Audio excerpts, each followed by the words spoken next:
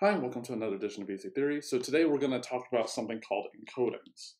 So the reason that we want to talk about this is that uh, when we were talking about the Church-Turing thesis, we were saying that uh, algorithms are the same thing as Turing machines. And so if we can build a Turing machine to do something, then uh, we can say that our computers can do the same thing, and vice versa.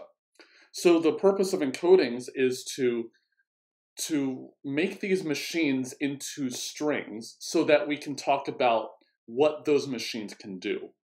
So if I wanted to present an input to a computer that encodes a DFA in some way, then I can try to answer questions about that DFA, but I need to be able to present it as a string so that I can talk about the language of, say, DFAs that have a certain property, or context-free grammars that have a certain property, or Turing machines that have a certain property. And that will allow us to formulate problems more precisely so that we can say whether or not uh, we can have an algorithm that solves a certain problem. So the purpose of encoding is to encode, surprise, surprise, a machine or whatever, it doesn't really matter what it is, into a string. That's literally all an encoding is. Change instead of you having a machine itself, you convert it into a string that's equivalent to the original. I should say uh, that too. Equivalent to the original. And what do I mean by equivalent here? I mean that if I give you the string, then you can figure out what machine it is. And, and vice versa. If you have the machine, you can make the string from it. And so you can, they correspond one and one together. All right, so let's just uh, do an example. So let's say that we have a DFA right here. Uh, I'm going to call it uh, the five parts Q, sigma, delta, Q0, and F, so the five familiar pieces. So the question is, uh, how do we encode this as a string? So how do we encode code, can't spell it code, encode this as a string? And it turns out there isn't a one specific way of doing things. There are many, many, many, in fact, infinitely many different ways of doing this. So the way that what we want to have is that I want to agree on what the encoding is in advance. But once we agree on it, then it's okay. You can do, you can have anything that you want. Um, so if you agree on the encoding process and what the string actually looks like, then uh, it doesn't actually matter what encoding you pick as long as we agree on it.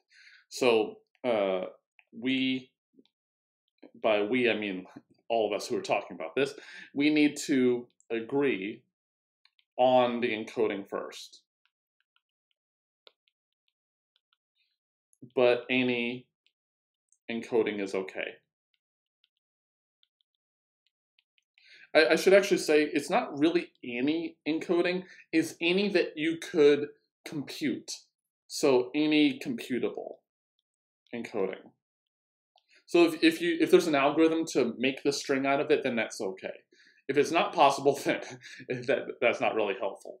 But so as an example, what could we do here? So what we can do, for example, is I could have, say, pound sign, which is a new character. I can list all the states out in a list, pound sign, all the characters out, pound sign, delta, pound sign, what the start state is, pound sign, and all the final states uh, listed there with a. So the pound sign is a delimiter. So the input uh, to the to whatever we're going to use is going to be that string. So W is going to be this uh, big O string. So uh, how would you actually implement this? So what you would do, so this is a good high level, what would you actually do? So let's just say that we have a pound sign here. How do you actually list the states out? Well, what we'll do is we'll have a numerical value for each of the states. So let's say zero, and then now we need another delimiter to separate what is one state from another state. So maybe comma, so that's a character. 1, comma 2, comma 3, comma, etc. And then for the symbols, we could have them really be anything.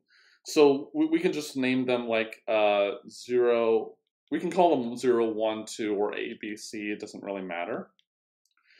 Uh, then for the transition function, oh, I should actually label these. So this part right here is the states. This part right here is the, the input alphabet. Then for the transition function, what we will do is we will have a triplet, which corresponds to the state that we're in, the, the symbol that we're going to read, and what state we're going to go to. So here, let's just say we have a 1, comma, 2, comma, 0. So this would, uh, what this is encoding is delta of, from state 1, reading the 2 is going to result in the state 0. Uh, and then what we'll need is another delimiter to separate between all of the transition uh, trip transition function triplets. So maybe dollar sign is going to separate those. And then maybe we'll have, let's say, uh, 4, 0, 1. And then another dollar sign here. And then we'll just keep going. So all of this right here is encoding the transition function. And then after that, we'll need to list which state is the start state. And then that's easy. Let's just say it's 2, for example. And then pound sign. Well, then what do we do with the final states? We'll just list them out. So maybe let's say 0, comma 3, comma 4. And that's the set of final states, let's say.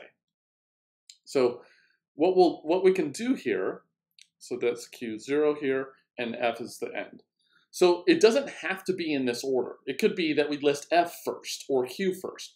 In fact, you don't even need them to be necessarily in different uh, sections. They could all be in the same section if there is a way to recover what the original machine is. Because if you read this input string, you see, oh, well, this part is the Q part because we agreed to that in advance.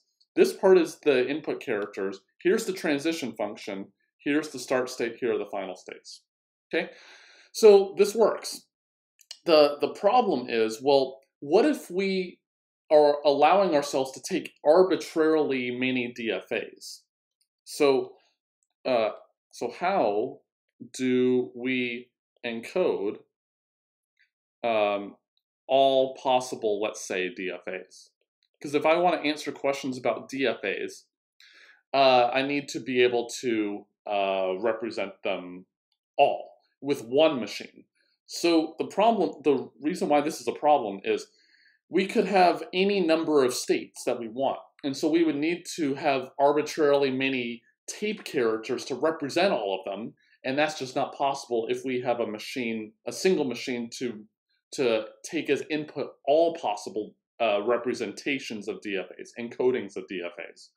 So the way that we get around this is that uh, we could, uh, yeah, here's how we get around it. We encode, so another encoding, uh, all uh, numbers, let's say, all numbers here, as binary integers.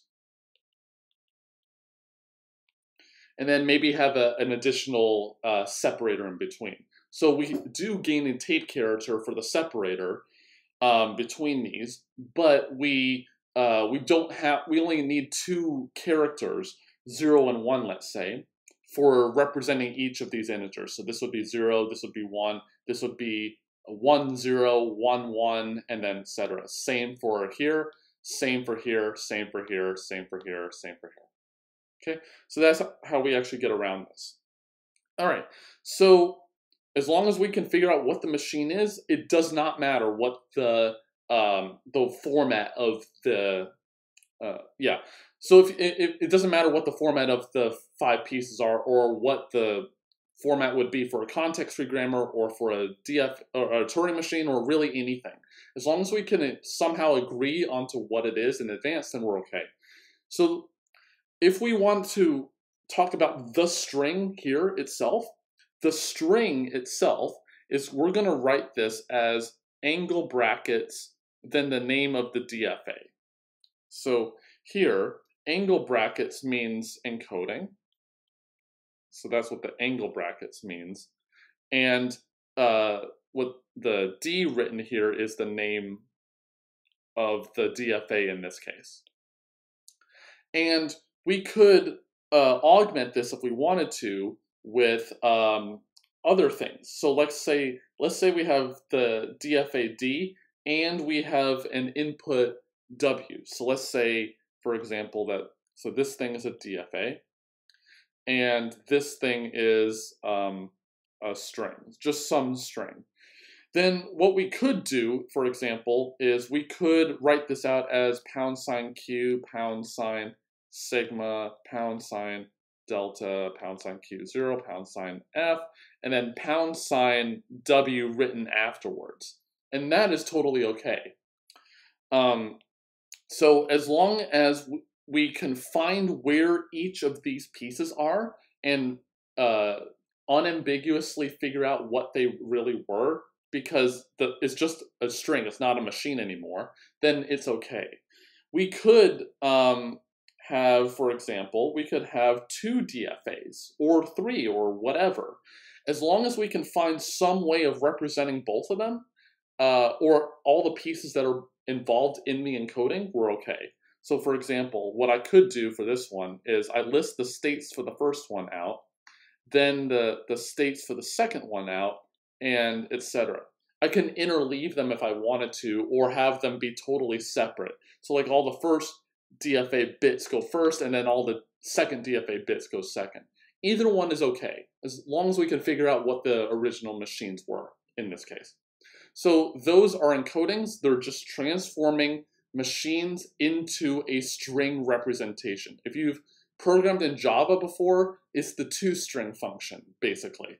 If you program in Python, it's the dunder stir function. It's just a way of making the machines into strings, a string representation, so that we can talk about the language of all strings representing these machines, uh, and then say something about that language. So hopefully that was interesting. Leave your comments, uh, leave thoughts and questions about encodings down into the comments down below. As always, please like and subscribe to the channel. It really helps us out. There are many other links in the video description if you want to support the channel further. I'm currently doing one-on-one -on -one tutoring. My email is in the description box below. And as always, I'll see you next time.